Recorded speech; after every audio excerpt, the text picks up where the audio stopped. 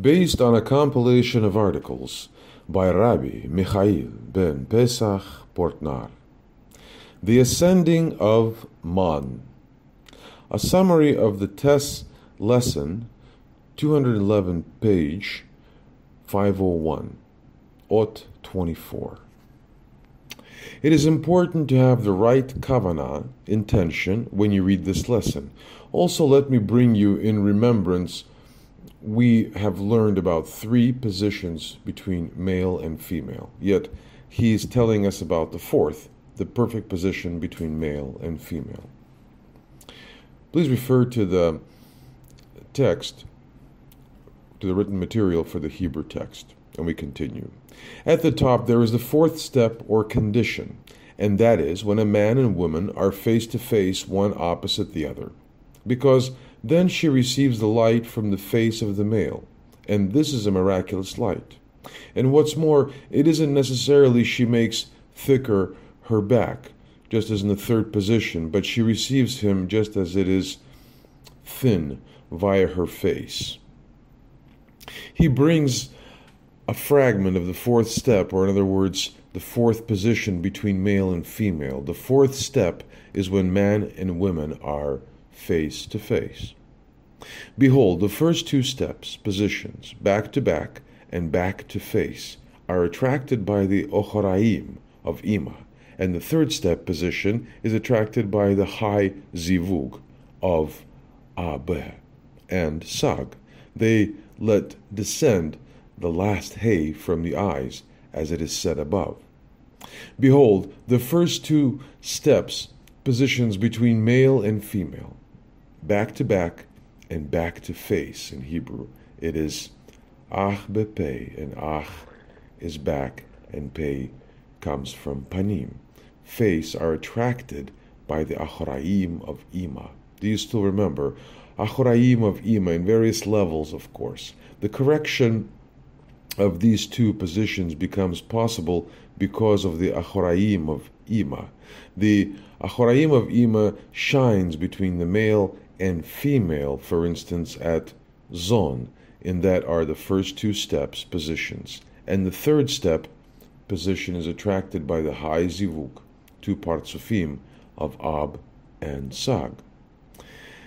That that descends the last hay, and then descends the last hay from the name Avaya from the eyes, and it is said above, the Partsuf Sag of Adam Kadmon, Aka, they don't know the limitation of the second Tzimtzum.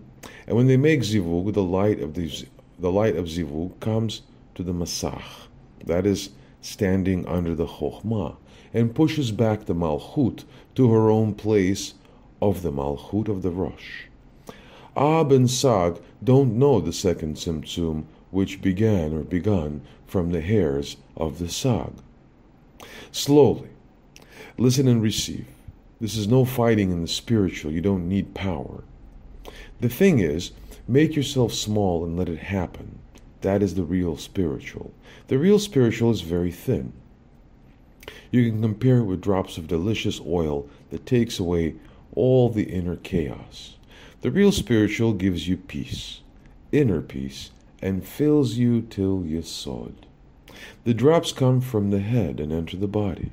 It is very thin. You can't see it. You can only feel it. When you feel it, is a softness, sweetness, a deep love, peace, and yet it is dynamic.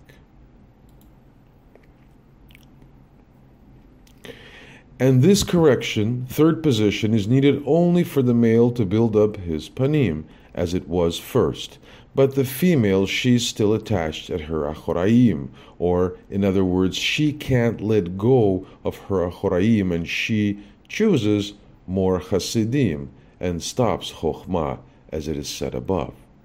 See, in this case, the bina can let go her achoraim and turn her to the chokhmah. Therefore, the bina needs the ascending of man from the lower steps which are the Zon, her children, Ze'ah and Nukva, because then she is obligated to let go the strength of her Achoraim and to turn her face to Chokmah. Can you see how it is working? The source is still Binah of the four phases of direct light. Do you remember? There was her Chokhmah from the Achoraim. The place of Ibur, the belly. And from the belly came out Ze'ah, Zeir Anpin, and Nukva, which is Malchut. And the Ze'ah and Nukva are coming from the belly of the Achoraim, of Binah. That is their original place. And because of that, all the time they return to Binah. And each time when they return to Binah, the Binah turns her face to Chokmah to make Zivug. So she, Binah, can give to her children, Ze'ai Nukva, just as a mother in this world. Now look closely how this mechanism works. She does do this only for the sake of Zon, because she can't attract for them the shining of Chokhmah without this. Isn't this great? Here you see how it works from the time of the second Tzimtzum. A higher can't give at a lower as long as there is no request from the lower. The higher needs a sincere and honest request from the lower.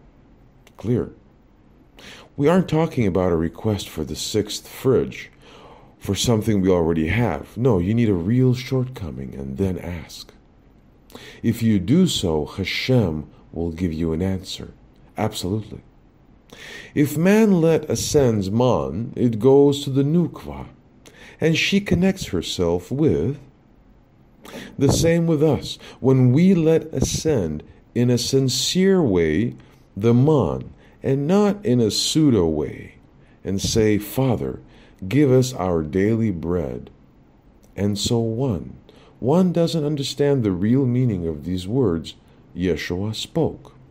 Father, give us our daily bread means I give you my man from below. Give me the strength to let ascend the man. Let my request be sincere that I will receive my daily bread, a daily portion of the heavenly manna, as a consequence of my request.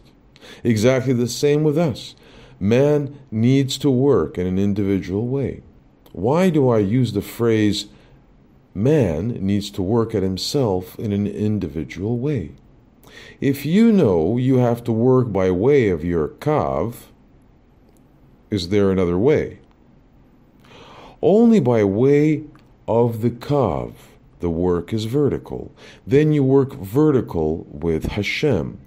Kav is vertical and not round as the round light only by way of the personal contact, direct contact, it works, and the contact goes via the Kav.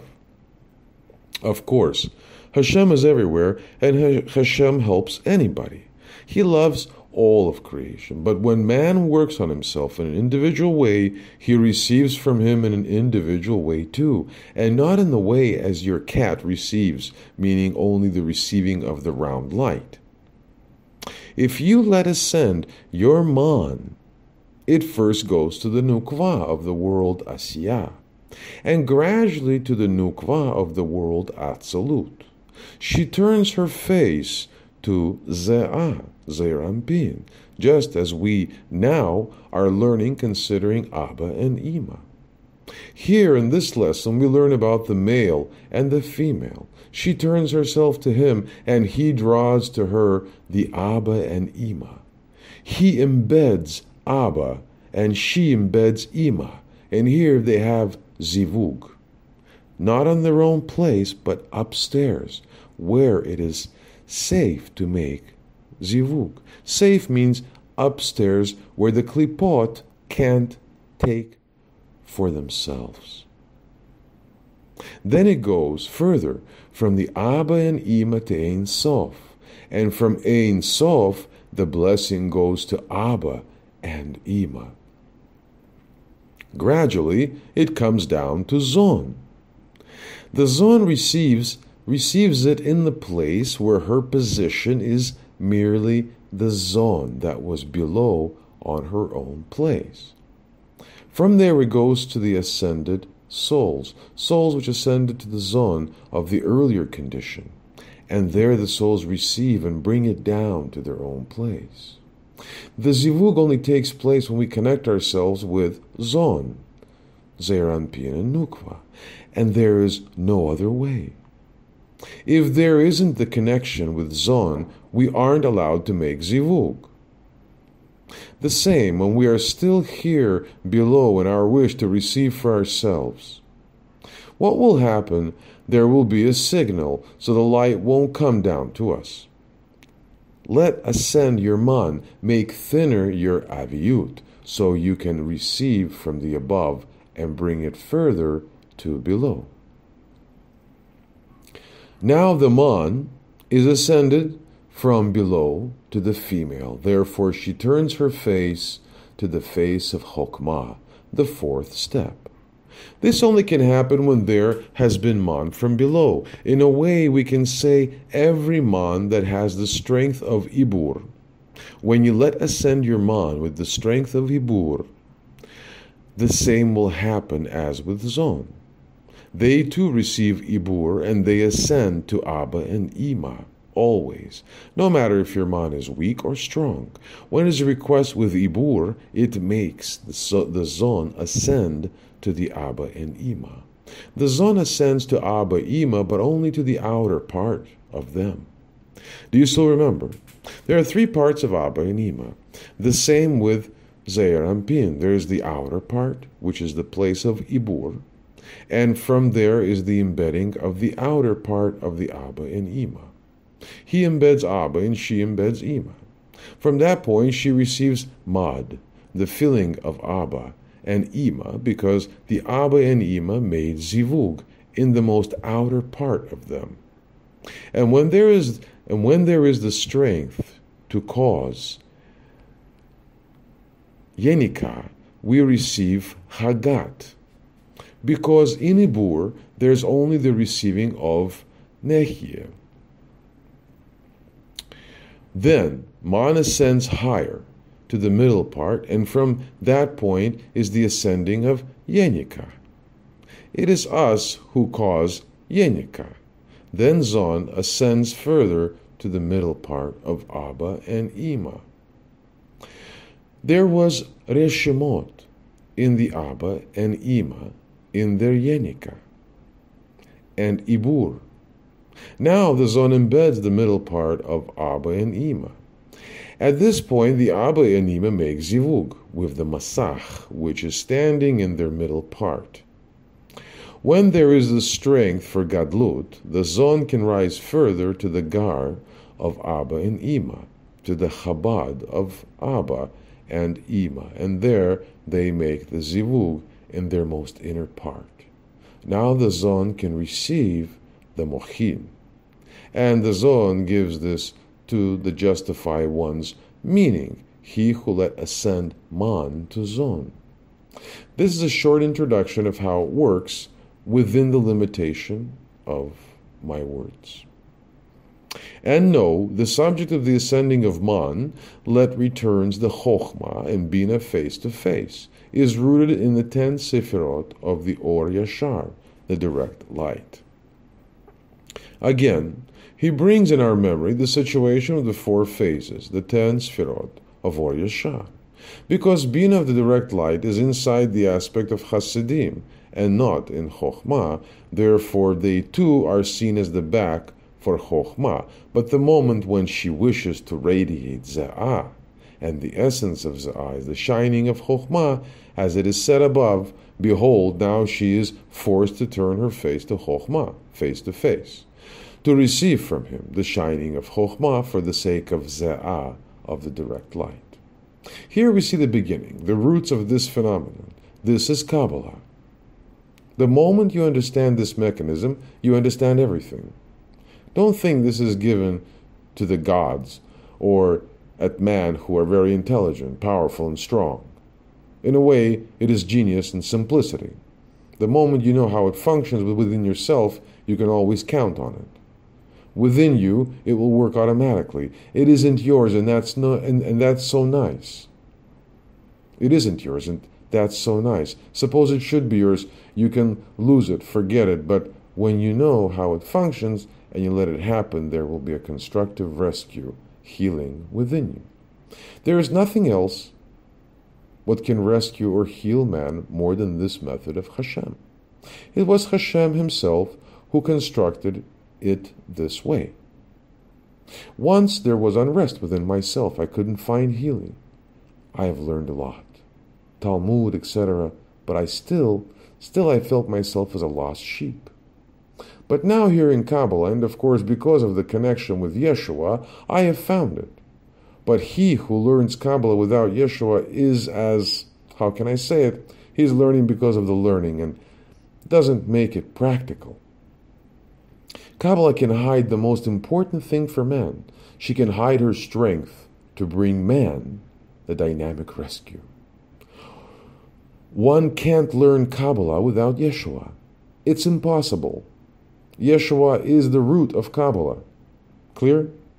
A tree needs roots. First, the root has to grow, and gradually the trunk, branches, and a crown, eventually fruit. The same with Kabbalah.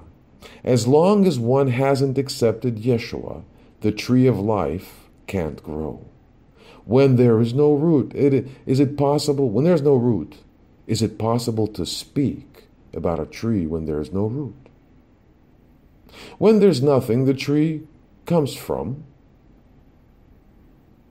see how important a root is, but at the same time, only a root is nothing. There has to be branches and blossom to give fruit. A root needs maintenance, it needs water, sunshine, one has to weed it, etc. And when one keeps himself only busy with this, it has no meaning either. A tree has to give fruit. You have to plant seeds, etc., and maintain it so something can grow, blossom, and give fruit. The same with Brit Hadashah, or the New Testament. When Kabbalah and Torah aren't involved, it has no meaning. Yeshua is the root of Kabbalah, and not only simply a root. He who is learning the New Testament without Torah, without Kabbalah, stays in poverty, just as in my example where I was limited in my words. That is only a root, but the root hasn't become a tree, therefore there aren't fruits either, and one can't pick them. Behold, as long as she doesn't bring out, let shine or create the Ze'ah, she's still in the condition of Achoraim with Chokhmah. She doesn't want to receive Chokhmah, and after her radiation of the Ze'ah, she's in the condition of face to face with Chokhmah, to shine the shining of Chokhmah and pass the shining on to Ze'ah. See, you see the source of the root of the condition Chokhmah and Bina face to face is Ze'ah, the direct light. In a way, we're speaking here of the root, of the root, the source of the root of the condition, face to face between Chokmah and Bina. And that, that's Ze'ah. Because of the need, the man that comes to Ze'ah, and she brings it to Abba and Ima, and they make Zivug. Then the father and mother will help us. And with this, you will understand the words of the Rav better. This is only a reference where you can find the words of the Rav.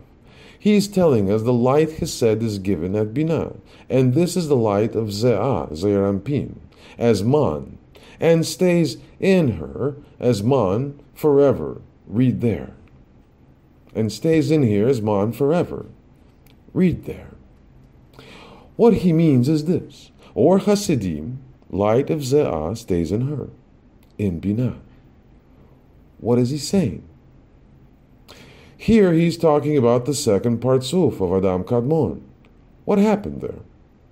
The light, Keter, didn't show up. The light Keter went out from the Kilim. What came in the second Partsuf of Ab? In the Keter came the highest light, or Chokmah.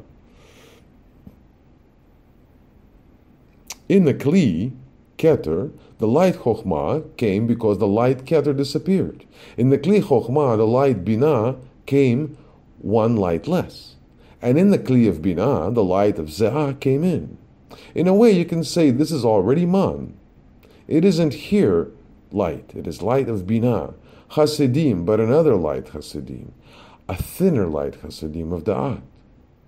Here in the second Partzuf was given at, at her the light of Ze'ah, and this way it stays Man forever. Now she's obligated to help Ze'ah all time.